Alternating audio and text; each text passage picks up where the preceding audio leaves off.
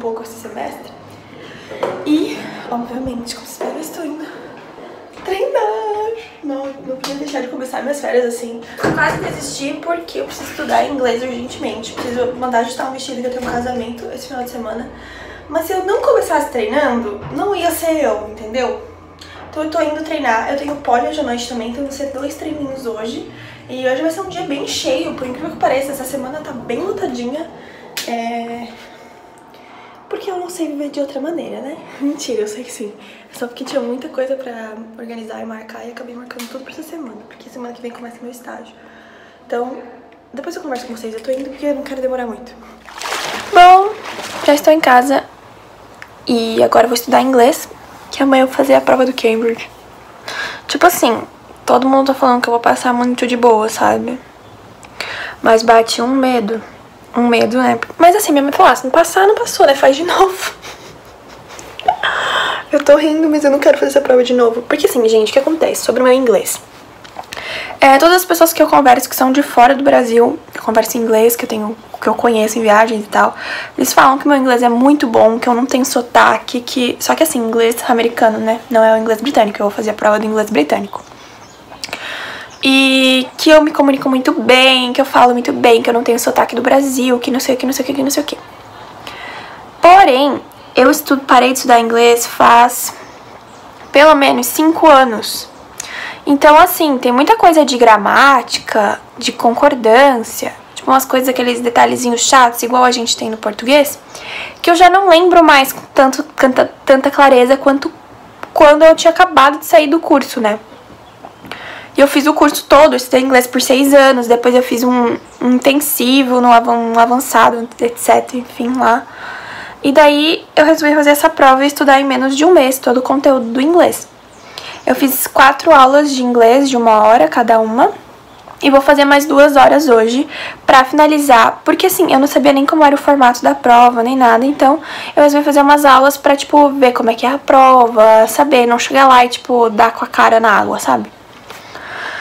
E daí agora eu tô com uma cacacada de exercício aqui pra fazer. Eu fiz metade ontem e acho que vou fazer mais um pouco hoje. Não sei se eu vou conseguir fazer tudo, porque eu tô morrendo de preguiça e não sou obrigada. Enfim, vamos ver. É, porque assim, a maioria das coisas que tá ali eu já sei, entendeu? Tipo, bem pra relembrar mesmo. Então, é, não é como se eu fosse chegar na prova e não fosse lembrar. A minha professora acha até que, tipo, nem precisava fazer tantos exercícios quantos eu quis fazer. Então, vamos ver, eu vou fazendo aqui. Os textos eu já fiz ontem também, eu fiz uns textos pra treinar a escrita. A princípio tá tudo bem, assim, vai dar tudo certo. Mas bate um medinho, né? Vai que, sei lá, na hora me dá um, um ruim, assim. Enfim, sei lá. Então, meus amores, acabou de terminar minha aula de inglês. É... Amanhã de manhã eu faço a prova, então foi a última revisão. Uh, mais tarde eu vou pegar ali os testes de exemplo pra dar mais uma olhada no modelo da prova e tal. Agora eu tô indo pra minha terapia, que eu faço terapia toda semana. E depois eu vou tentar levar isso aqui na costureira, porque já vai ser quase, vai ser 5 horas da tarde. Eu não sei se a minha costureira já, ainda vai estar aberta, só que eu espero muito que ela esteja, porque eu preciso desse vestido pronto pra sexta-feira. Sexta-feira eu viajo pro casamento da minha amiga, que vai ser sábado. Então eu tô com um vestido aqui. Ele é maravilhoso, ele é muito lindo. E eu tô levando a sandália que eu vou usar, que é essa aqui, pra fazer a bainha, né? Porque eu preciso fazer a bainha e ajustar a alça, que tá um pouco grande. Vamos ver se, eu... Tomara, tomara mesmo que ela esteja aberta. Eu vou pegar agora alguma coisa pra comer, que eu acredito que vai ser uma banana. E vão me mandar. Ai, eu posso esquecer a chave de casa, volta. É isso, vamos.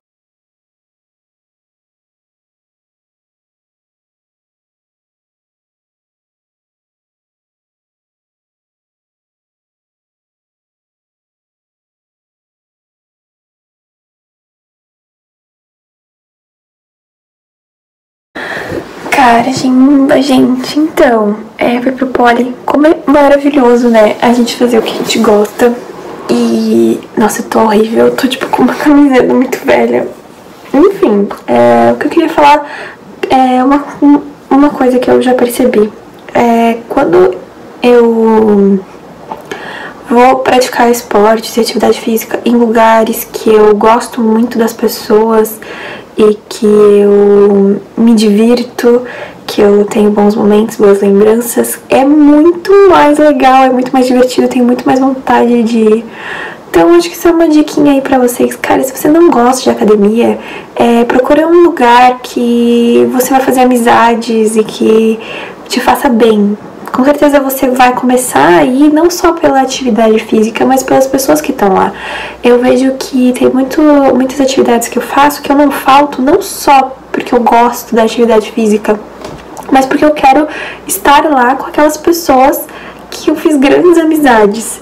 Então eu tenho pessoas do poli que eu considero como irmãs, assim, que eu sei que eu vou levar pra vida. Então é, é uma dica bem legal essa. E outra coisa que eu resolvi gravar, na verdade, é porque a Luana Carolina, vocês, talvez algumas pessoas aí conheçam, ela tem um canal aqui no YouTube ela tem um Instagram também de estudos. Ela tá passando por um processo com a pele dela, porque ela começou a ter bastante acne.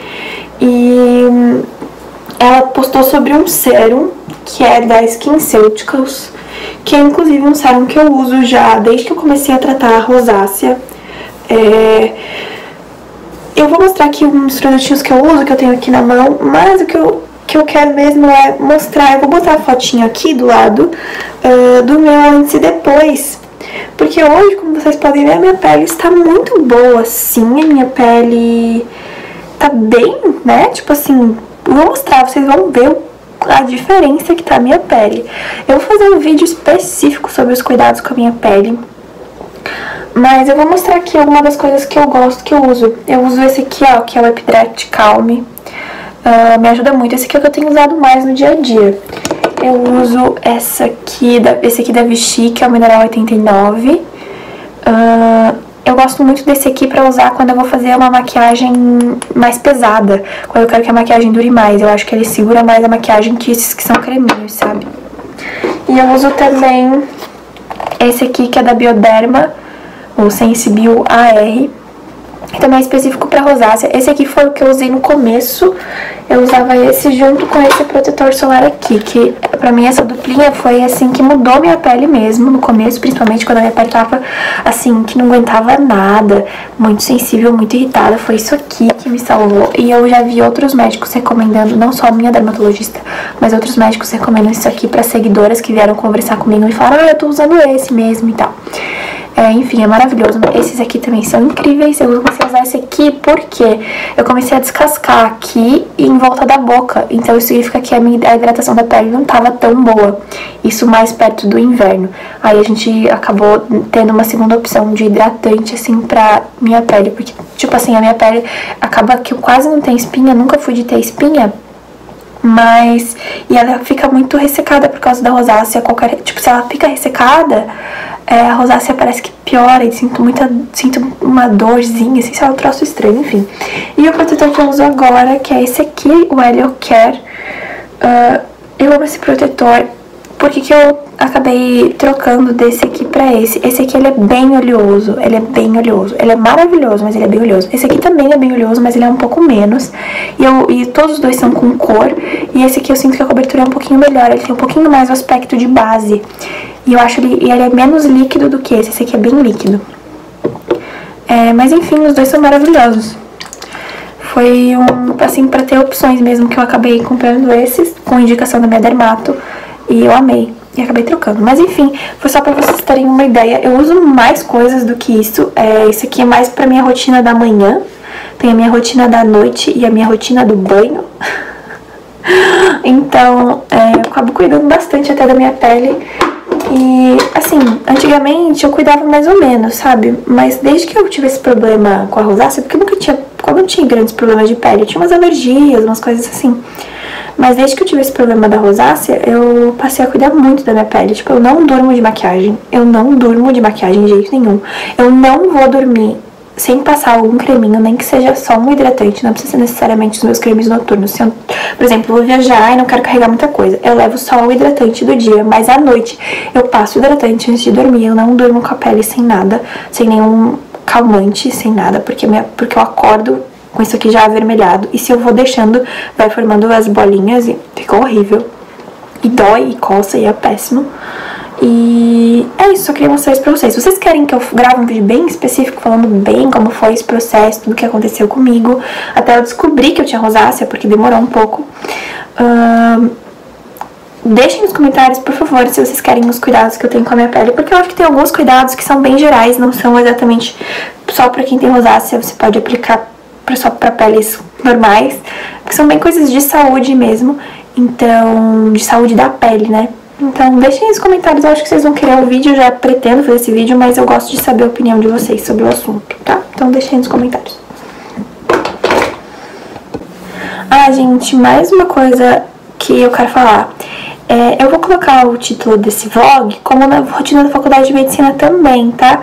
Por quê? Porque a partir de amanhã, depois da prova, eu vou começar a estudar pro meu estágio. Então, vai ter muito conteúdo de estudos aqui e de rotina mais voltada para minha faculdade mesmo. Então eu vou botar esse título. É, eu sei que é minha primeira semana de férias, eu devia colocar como título de férias, mas é, para o pessoal que gosta mais dessa coisa, essa parte dos estudos, não é, deixar de assistir o vídeo também por causa do título. Eu vou botar o título como é, rotina da faculdade de medicina e não vai ser um clickbait como falam, porque eu realmente vou estudar cardiologia e vou mostrar para vocês então, é isso. E é isso. Oiê.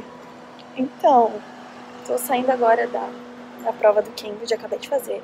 Achei que foi bem tranquilo, depois eu vou explicar melhor uh, como eu tô saindo agora aqui do... Tô na rua, né? Daí eu explico depois em casa. Eu... Aonde, onde lugar que eu fiz a prova é bem perto da clínica do meu pai, então eu tô indo pra lá pra pegar carona com ele, porque eu pedi pra minha mãe me trazer de manhã que eu não tava muito afim de dirigir. Então, tipo, a prova começou 7h45 e terminou agora, que são 11h50. Bem extenso o tempo, mas a quantidade de coisas não é tão grande. Já, depois eu explico. É, enfim, é isso. Logo então, volto. gente, almocei. É, depois eu vou comentar sobre a prova, mas calma, eu tô fazendo umas coisas aqui que na verdade eu vou separar tudo que é resumo da cardio desse semestre agora que passou, pra eu poder começar a fazer o caderninho que eu falei no vlog passado. Gente, separei os negócios lá, é, separei algumas coisas também de um livro e eu ia estudar já naquela hora. Só que eu percebi que eu tô de férias, né, meus queridos, que eu estou de férias. Então, é, eu decidi aproveitar um pouco o sol, tô na piscina e uh, depois eu vou treinar. Eu tenho dois treinos hoje, eu vou fazer pilates e tenho treino com o Guto, meu personal. E aí depois, quando eu voltar, que vai ser umas 9 horas da noite, que eu vou estar sem sono, provavelmente, aí eu vou estudar, porque daí, tipo, não tem sol, não tem nada pra fazer. Então, eu resolvi estudar à noite agora pra aproveitar um pouquinho e pegar um sol, pegar uma corzinha, né? Porque esse tom de leite de estudante já deu, né? Já deu o que tinha que dar.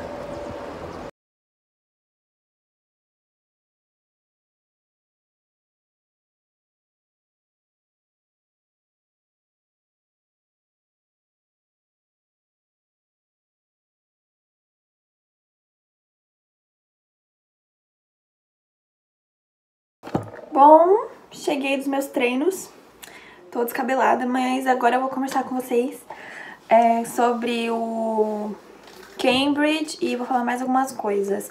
É, fiz dois treinos hoje, fiz pilates, fiz, fiz musculação, treinei perna, treininho bom.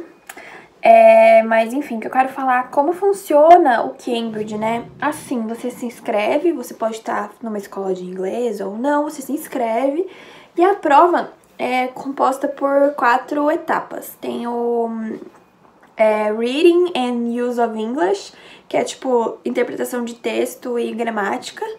Aí a segunda etapa é Writing, que você tem que escrever dois textos que eles te dão lá para você fazer como vestibular, assim, só que são dois textos.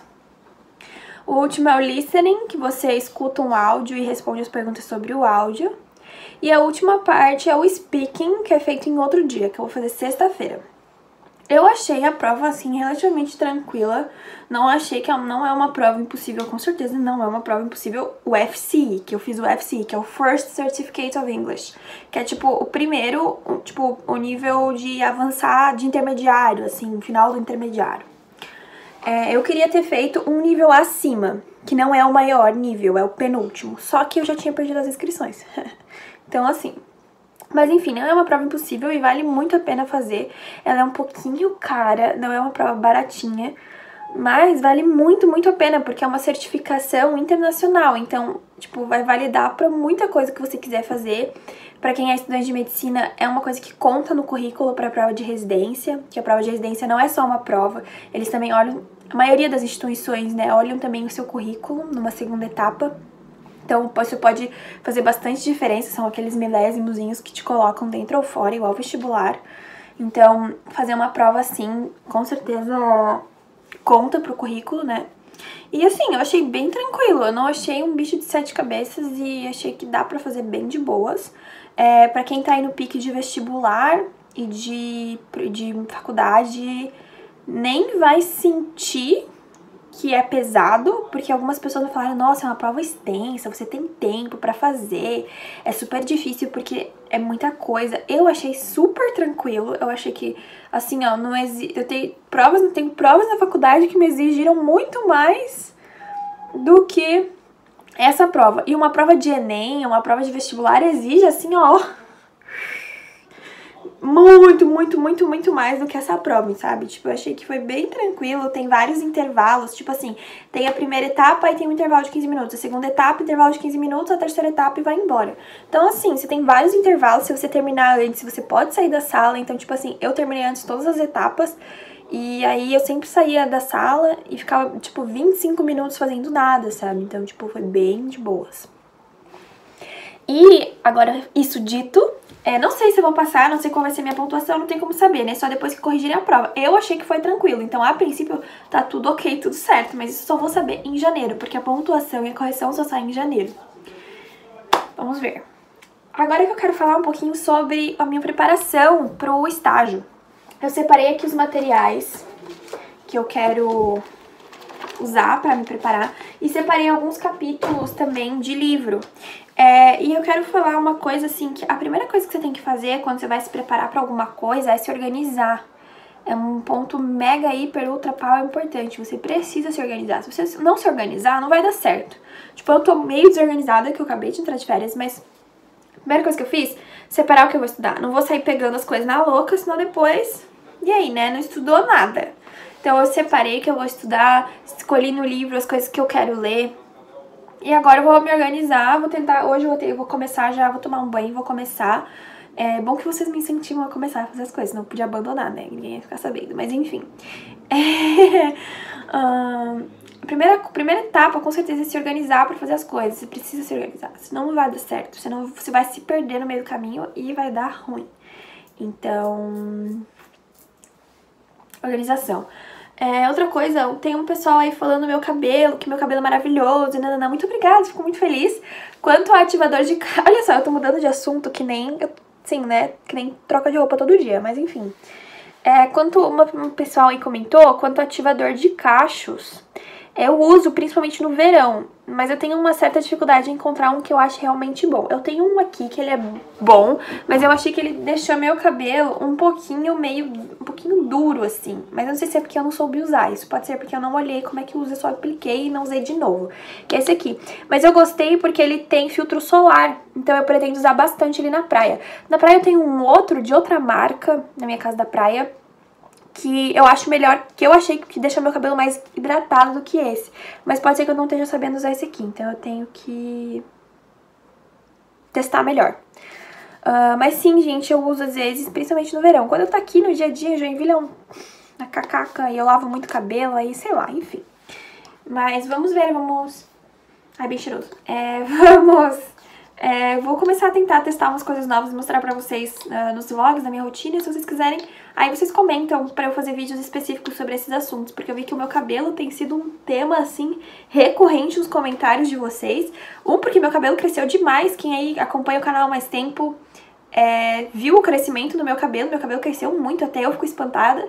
E eu uso um shampoo de crescimento. Mas, tipo assim, eu uso só o shampoo, não uso condicionador, não uso máscara nem nada. Uh, eu percebo que a alimentação influencia bastante, meu estresse, o jeito que eu arrumo meu cabelo, enfim, várias coisas.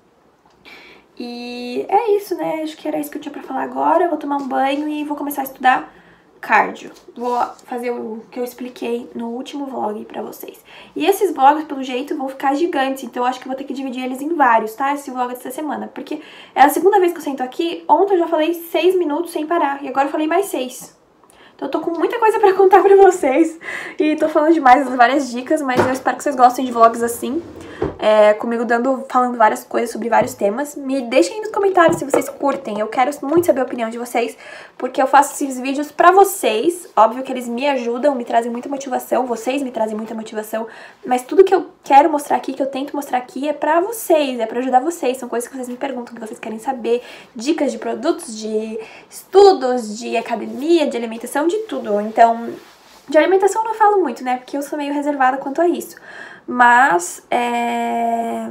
é isso, vamos lá que eu tomar banho e vou começar a estudar, senão eu vou ficar aqui falando até amanhã.